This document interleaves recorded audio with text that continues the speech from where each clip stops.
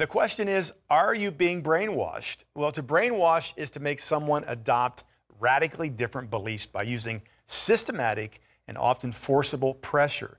Since the average American is exposed to anywhere between four and 10,000 advertisements and seven and a half hours of media every single day, it would be easy to affect what you buy, what you think, even what you do. Well, today I'm joined by the host of The Drenda Show, as well as her new show, Drenda on Guard, to talk about the lies of the culture and how we can overcome them. Welcome, my wife, Drenda Keesee. Hi, Ann. Good to awesome be here. Awesome to have you with us hey, you know, Gary, there is a the war thing. going on. There is, absolutely. Yes. And there are lies being told by the enemy. He's out to still kill and destroy. And our minds are all being washed, whether we recognize it or not. Absolutely. They're either being washed with the water of the word or they're being washed with the world system. And the world system, uh, you know, I wrote a book called Fight Like Heaven, and uh, it's a cultural guide to living on guard. And one, one of the whole chapters deals with propaganda, media, and lies. And I'm dealing with the fact that we have a problem that truth is not getting out. Satan yes. is the original tyrant, and he is stealing, killing, and destroying. He does it through lies. He does it through propaganda. He does it through misinformation. And, you know, the truth is what sets people free. But unfortunately, like I share in the book about the different mountains of influence, the enemy has infiltrated all of these mountains, and he's brought lies in them, whether it's children's education, whether it's uh, what's going on in medicine right now, what, what's going on in government and in the media and celebrity yeah. culture, uh, all of these areas, these are influential areas. Uh, you know, even religion, we see churches today that are embracing tolerance over truth, and they've embraced lies.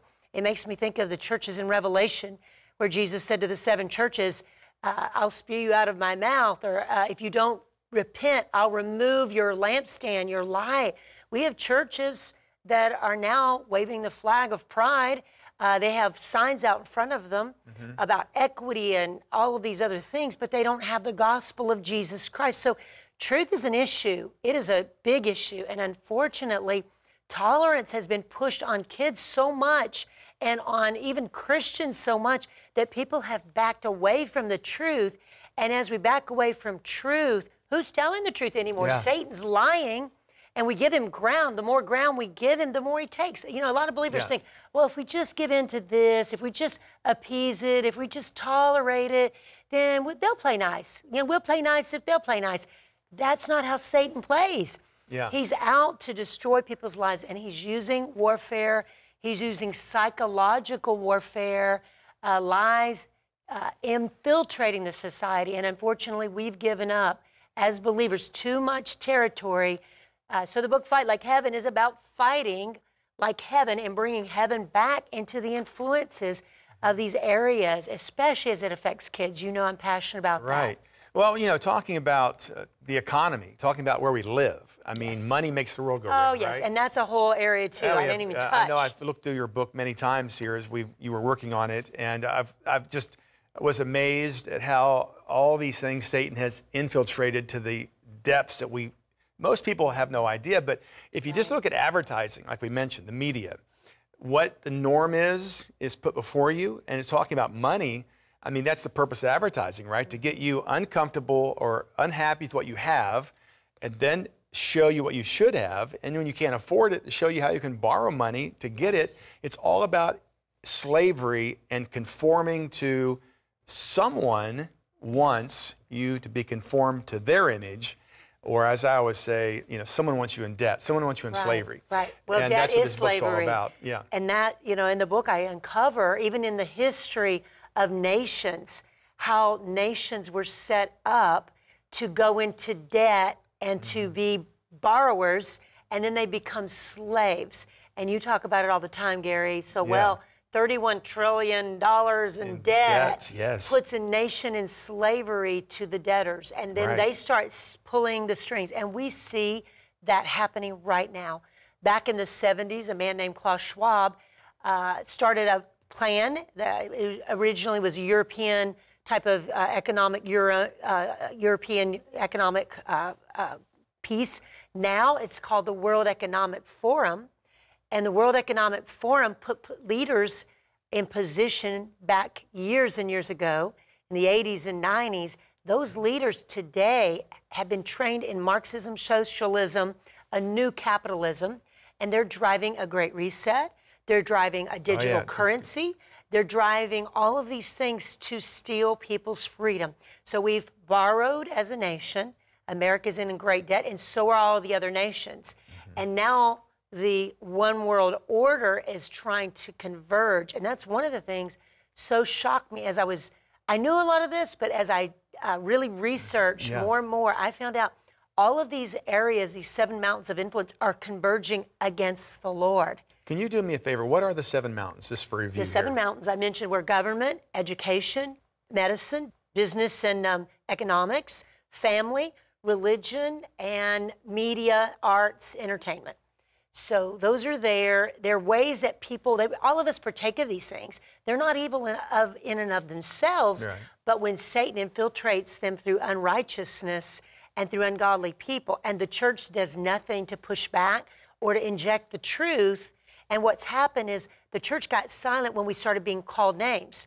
When you say, uh, for, for instance, in the 70s, the women's lib movement, which I was part of, was pushed as the agenda, but it was used to bring abortion in on its heels. So any man, for instance, who would have said, no, abortion is murder, it's wrong. And by the way, when abortion was, uh, Roe v. Wade was, the decision was made uh, in favor and uh, women abortion in favor of abortion, most of the nation was against abortion. But they used the women's lib, feminist uh, equality, which sounds great. Equality, we all believe in equality. God's word teaches equality. Jesus is the equalizer, right? But what happened is the women's movement was used. If you dare say anything against abortion, you were coming against women. And so it silenced people from speaking up that no, this is murder, this is killing children, this is evil, this is horrendous. And we've seen the same thing happen with same sex marriage. That uh, if you dare say that, no, the Bible says marriage is between a man and a woman, well, then you're coming against. Uh, even it was it was even spun to be coming against races or ethnicities because they tied the LGBTQ agenda to ethnicities and racial equality. They're two different things. Right, right. A skin tone is very different than a person's sexual choices. And the Bible calls it sin. So when the church quits, call, quits calling it sin, when the church backs off, Satan invades these seven mountains. He invades these seven areas and takes them over. And then he silences. And the, the biggest one about, as you started the program, the brainwashing. This is the most dangerous one because enemy, the enemy can try it's to all set brainwashing. Up, yeah, though, the enemy right? can try to set up camp somewhere, but if the church counters it with truth, then it pushes back evil. But when the church is brainwashed, or when people are silenced out of fear, uh, and they're told tolerance is grace. The Bible says grace teaches us to say no to sin. But when we're told as believers, no, no, no, love means tolerance then that means we have to tolerate every evil. Well, what about evil against children?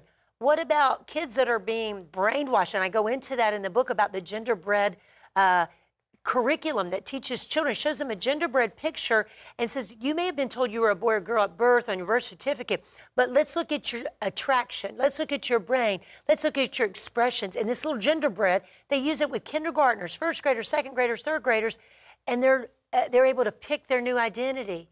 And then they go to the hospital and they say, oh, we need, you need to be put on gender blocking, uh, you know, gender right, puberty right. drugs and uh, uh, puberty blocking drugs because you're not a boy or a girl, you're this or that. And then they bring in clergy who put their blessing not on real it. Clergy. They're not clergy that know the yeah. Lord Jesus Christ, but they're bringing in clergy and they're ordaining them basically into a new identity. This is a counterfeit for the born again experience, and it's taking children's lives. I know for me, I was confused about how just to get around the hall when I was a little kid at school. I was confused about where's the bathroom. you know, mm-hmm. now they're taking these little children who are already looking to adults for their identity and they're brainwashing these children and they're telling their parents, the hospitals say we have these gender clinics. I know in our state, six of them. They're all over the United States of America. And these gender clinics are telling parents, look, a uh, you know, a live trans child is better than a dead child. They're basically telling parents if you don't let them do this surgery, if you don't let them bind their organs, if you don't let them go this full route of this, then these kids are going to commit suicide. But what they're not telling them is 40% of kids who tra- transition commit suicide. Uh, it's a lie. Again, okay, it's that so brainwashing. There's, there's this lack of truth, right? Yes. And it's changing the culture.